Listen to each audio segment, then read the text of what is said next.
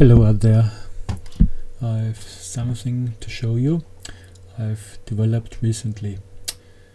This is the normal construction method of a stair quarter of the full arc, a full circle. Uh, you just draw the line where the most people are going, the walk line. You draw the x of this stair who points in the edge of the stair and halfen the broad, the width of the stair. Then you uh, part this line from here. Always the same. That's the normal method of drawing such a stair in 2D. Then you lengthen the line of the last straight stair to the inner side. Then you draw a circle for the smallest of the angle stair and you lengthen it and you get this distance from here to here. So you lengthen it, you get this point to here, you mirror this and that, and you get this distance. And you repeat that. And then you do always one point more and one point more. Okay, one point more, and here one point more. This one okay. This one one point more. So so you get a smooth uh, parting of the stair so now I try to program this functionality in a stair I can show you. But if you take this point, you can do this. You see? It's always smooth and easy. It's the same method as drawn here. So you can draw here and the stair will follow.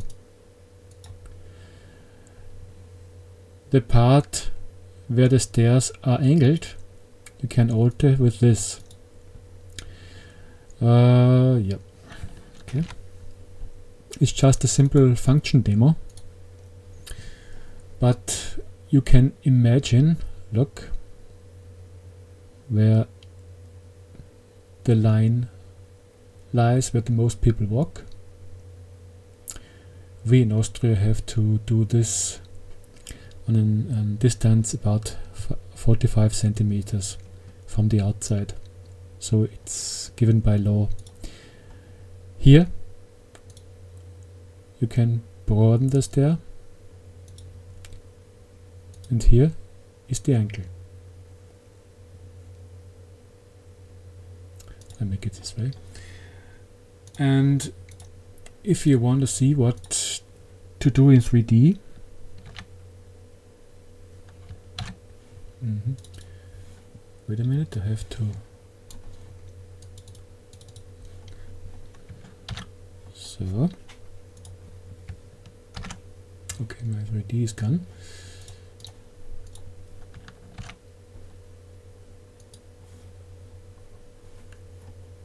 Okay, here. You see, the angle is not correct now, but it's very easy so you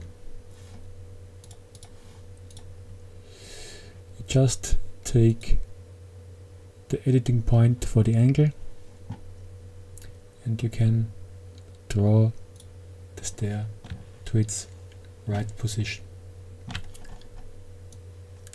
I have to do it side by side to show. Okay, I make it back. So it's then back. If I take it,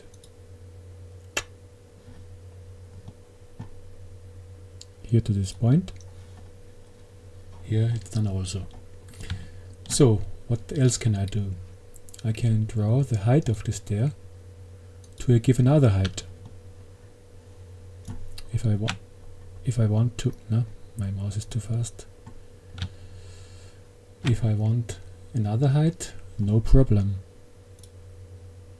The stair will follow and the number of stairs will be added as it needs as it is needed for a normal uh, length of one step. I uh, calculated about 30 uh, 63 centimeters is one step and the stairs calculated two uh, distances up and one distances also two distances vertical and one distance uh, horizontal is 33 uh, no, not 33 uh, 63 centimeters. And so it, it's calculated every time. If you're gonna go higher the stair will follow the angle the, the uh, inner angle is always at the same side. It's also possible to do it here you see? 2.9 is the correct height for this model. So it is very very easy to adjust such an angle stair uh, without the need uh, to go in any of the annoying uh, dialog boxes. It's just a simple function demo now. I have to um, script much more 3D details, but it's a start for now. Okay, have fun with it. I uploaded this part to uh, BIM components, so it's available in a few days, I think. Uh, a few days, I think, under this name.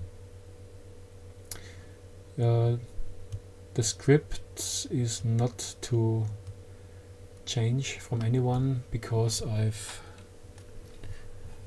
put it a password in it because I don't know if I want to sell it or if I want to set it free now in this state of development.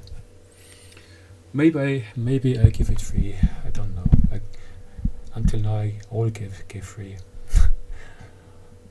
okay. Have a nice day.